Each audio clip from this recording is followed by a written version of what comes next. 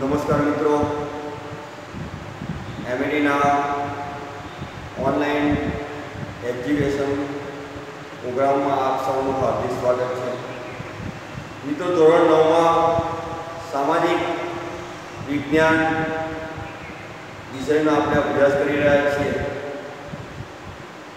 અત્યાર સુધી આપણે ઘણા પાઠ જોયા છે.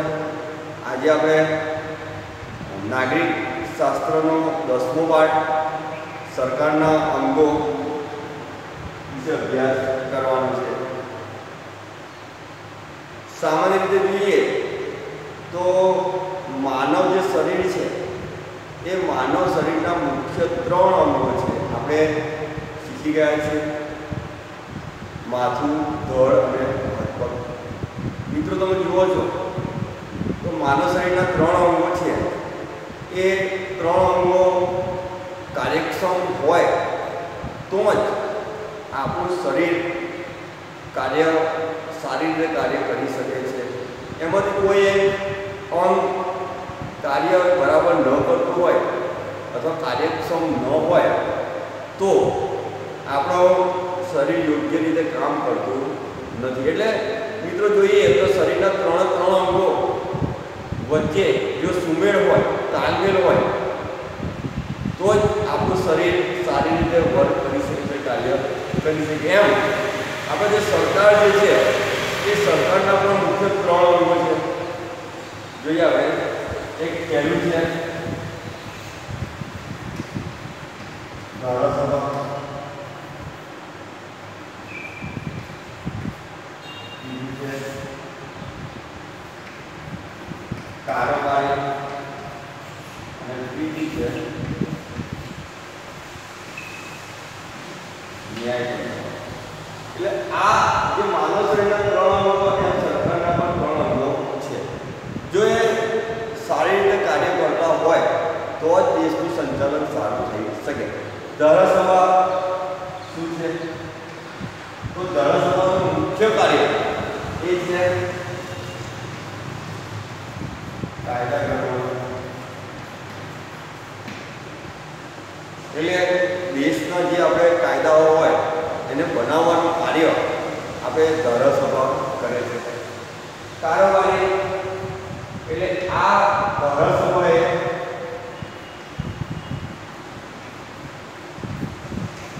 ઘડેલા કાયદાનો અમલ કરવો કરાવવો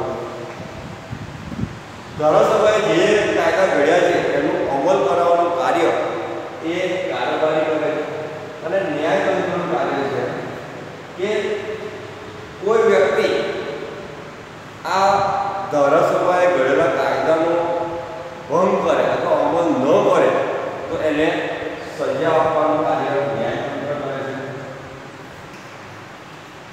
કાયદાનો ભંગ કરનારને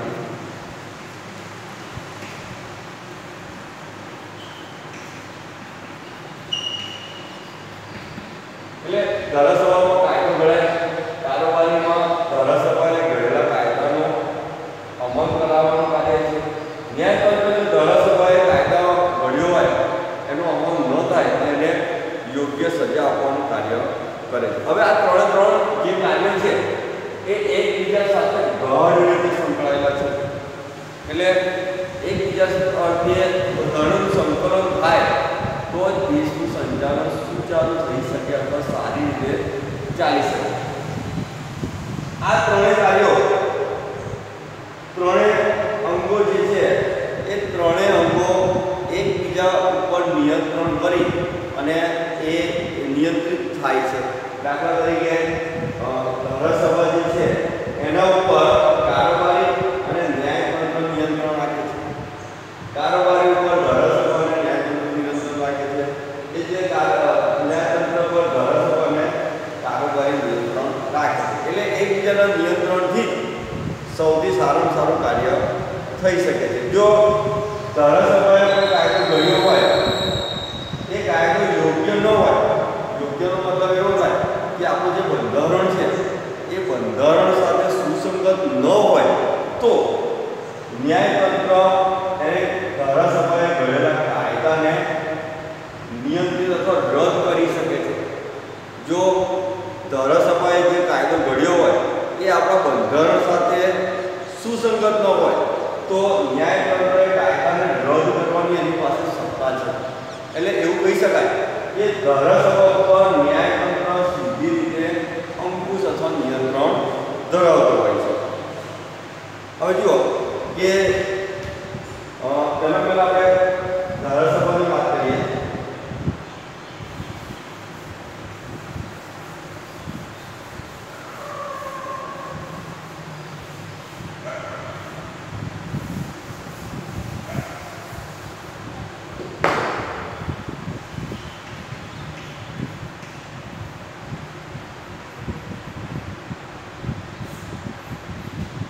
ધારાસભા અ, આપણા દેશની અંદર અ, રાજ્યનું આપણો અ, જે દેશ છે એ ઘટક રાજ્યનું બનેલું એક સંઘ અ, રાષ્ટ્ર છે એની અંદર આપણે અ, ધારાસભાની અંદર કેન્દ્ર કક્ષાએ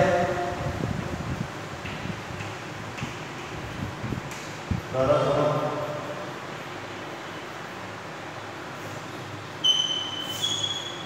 અને રાજ્ય કક્ષાએ ધારાસભા હવે કેન્દ્ર સરકારે ધારાસભા કઈ રીતે છે બે ગૃહોની બનેલી છે ક્યાં કાયદા ઘડાય છે આપણે જે રાષ્ટ્ર કક્ષા છે કેન્દ્ર કક્ષાની અંદર જુઓ તો જોઈએ તો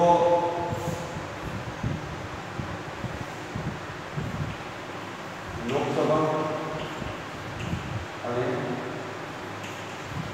રાજ્યસભા બે ભાગ પાડેલા છે બે ધારાની બનેલી લોકસભા અને રાજ્યસભાની બનેલી છે ધારાસભા આપણા કેન્દ્ર કક્ષ- કક્ષાએ ધારાસભા જ્યારે રાજ્ય કક્ષાએ જોઈએ તો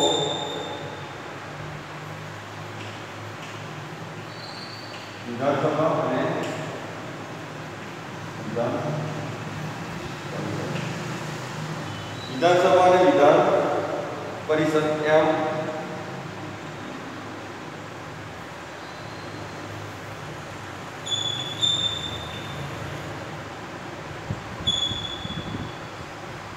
વિધાન પરિષદ એટલે અ, રાજ્ય કક્ષાએ વિધાનસભા અને વિધાન પરિષદ ધારા અ, કેન્દ્ર કક્ષાએ ધારાસભા જે છે એ લોકસભા અને રાજ્યસભાનું બને લોકસભાના જે સભ્યો છે એ સભ્યો કોઈ પણ કાયદા અંગે ઘડતર થાય તો પહેલાં લોકસભા એટલે આપણે એને નીચલું ગૃહ એવું કહીએ છીએ લોકસભાને આપણે નીચલું ગૃહ તરીકે ઓળખીએ છીએ એ નીચલું ગૃહમાંથી પસાર થાય ત્યાર પછી રાજ્યસભામાં આવે અને રાજ્યસભામાં પણ બહુમતીથી પસાર થાય તો એ રાષ્ટ્રપતિની સહી માટે જઈ શકે છે આપણે એની ચર્ચા આગળ કઈ રીતે કેન્દ્ર કક્ષાએ કઈ રીતે કાયદો ઘડાય છે એની ચર્ચા હવે પછી કરીશું રાજ્યસભાની અંદર રાજ્ય કક્ષાએ પણ આપણે વિધાનસભા અને વિધાન પરિષદ એમ બે ગૃહો છે ઉપલું ગૃહ નીચલું ગૃહ આપણે અહીં નથી કહેતા પણ મોટા ભારતના મોટા ભાગના રાજ્યો છે એની માત્ર એક જ ગૃહ છે.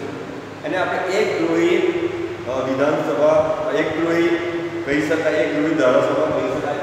તો ખાલી વિધાનસભા, ગુજરાતની અંદર જો ખાલી વિધાનસભા છે, ભારતના કેટલાક રાજ્યોમાં દ્વિગૃહ, એટલે બે ગૃહની બનેલી ધારાસભા પણ છે. ભારતના કેટલાક રાજ્યો છે, એમાં બિહાર છે, ઉત્તર પ્રદેશ છે, મહારાષ્ટ્ર છે. જેવા રાજ્યો છે, એમાં બે ગૃહો છે, વિધાનસભા અને વિધાન પરિષદ. આમાંથી પ્રોસેસમાંથી પસાર થયેલો કાયદો જે છે, એને આપણે કાયદો નથી કહેતા. રાષ્ટ્રપતિની જ્યાં સુધી સહી ન હોય, ત્યાં સુધી કાયદો કહેવાય નહીં. આમાંથી વિધાન પરિષદમાં જાય અને પછી અહીં રાજ્યપાલનો સહી માટે જઈ શકે એટલે એ જોઈએ તો કેન્દ્ર કક્ષાએ અને રાજ્ય કક્ષાએ આ રીતે ધારાસભાનું વહેંચણી થયેલી છે. એ જ રીતે કારોબારીની વાત કરીએ આપણે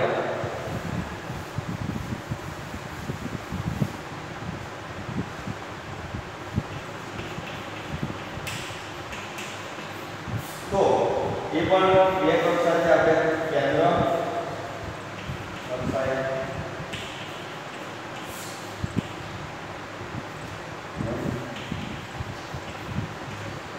રાજ્ય કક્ષા હવે અંદર જે કારોબારી છે, એની જે સાંકળ છે, એની આપણે ગોઠવણ જોઈએ. તો આપણે રાષ્ટ્રપતિ તરીકે આપણે રાષ્ટ્રપતિ જે સૌથી ટોચ ઉપર તમે જુઓ, તો રાષ્ટ્રપતિનો સમાવેશ થાય છે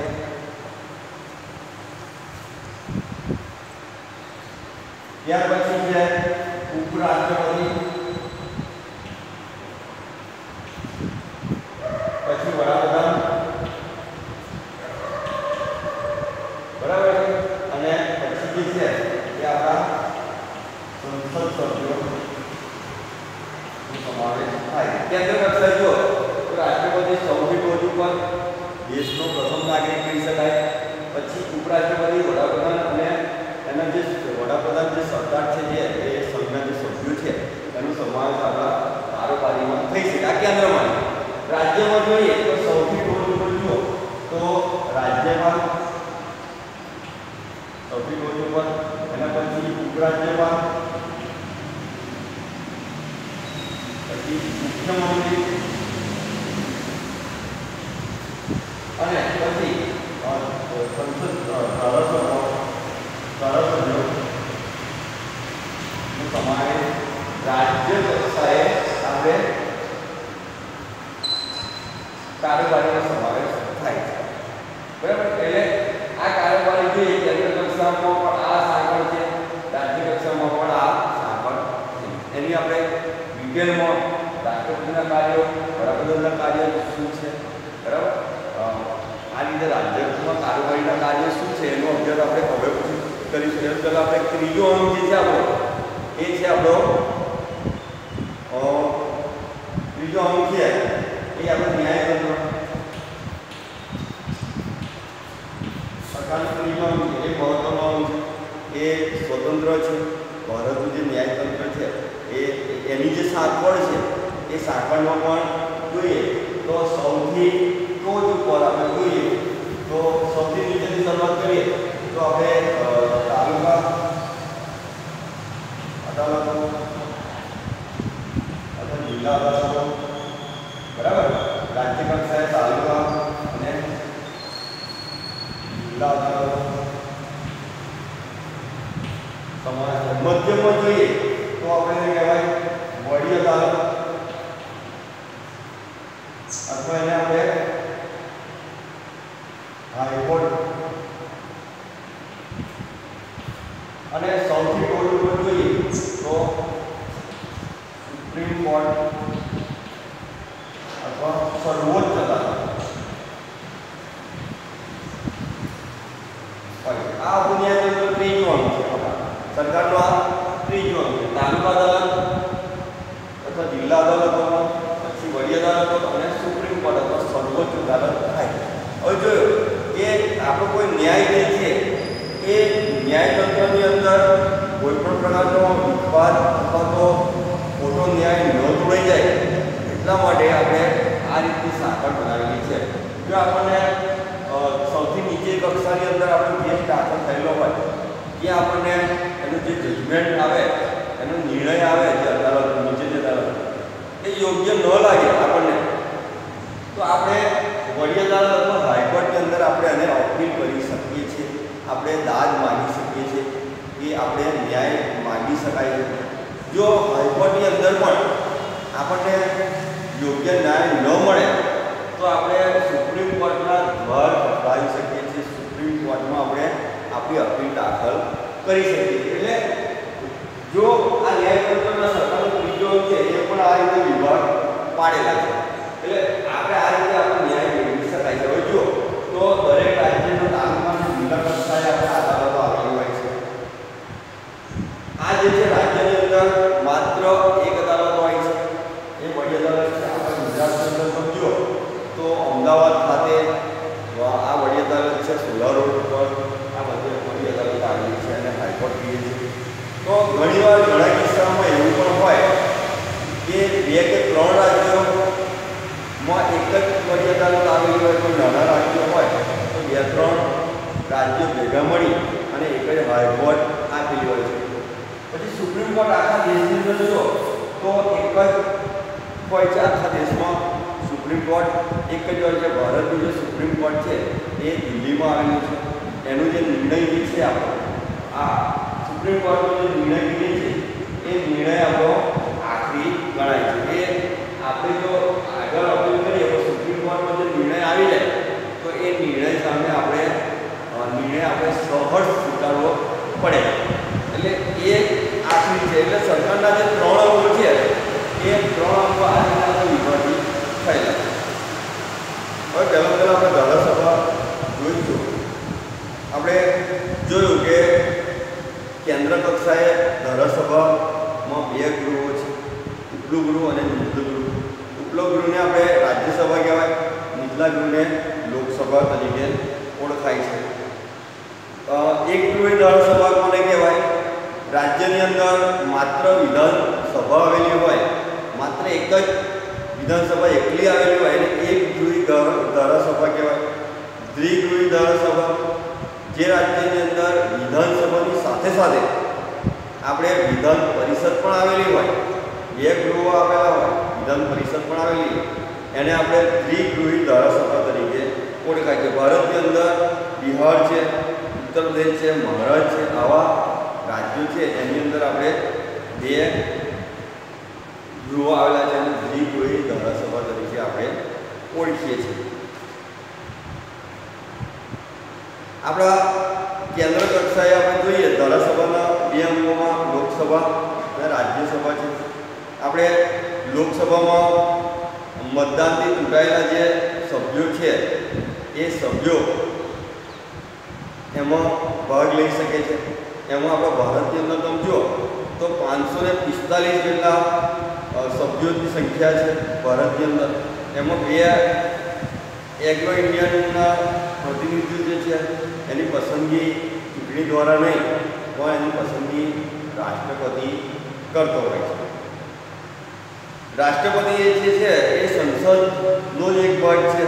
સંસદ સભ્યની પ્રથમ બેઠકનું ઉદ્બોધન, પ્રવચન એ રાષ્ટ્રપતિ બંને ગૃહ, એટલે લોકસભા અને રાજ્યસભા બંને ગૃહોનું સંઘ હાથે બેઠક બોલાવી અને એનું સંબોધન કરે છે. ત્યાર પછી, સત્રની શરૂઆતમાં, ત્યાર પછી એ લોકસભા કે રાજ્યસભામાં ક્યારે હાજરી આપતા નથી. રાષ્ટ્રપતિ ક્યારે હાજરી આપતા નથી. બંને ગ્રહોનો શબ્દો બોલાવે છે, મોકૂફ રાખે છે, રાખી શકે છે અને એ લોકસભાનું વિસર્જન પણ કરવાની સત્તા રાષ્ટ્રપતિ પાસે હોય છે. આપણે જે કાયદો જે છે, એ કાયદો બંને ગૃહો એટલે કે લોકસભા અને રાજ્યસભા, લોકસભા રાજ્યસભા બંને ગૃહોમાંથી જે પસાર થાય, પસાર થયો, એને કહેવાય કે બંને ગૃહો બહુમતીથી પસાર થાય અને એ પસાર થયેલો કાયદો ખરડો કહેવાય. એ રાષ્ટ્રપતિ એને ધારે તો સહી કરી એને કાયદો બનાવી શકાય. એને આપણે આગળ જોઈશું. અત્યાર સુધી આશા મેળાવે સંસદ સભ્યની લાયકાતો એ બધું આગળને આપણે એમાં જોઈશું.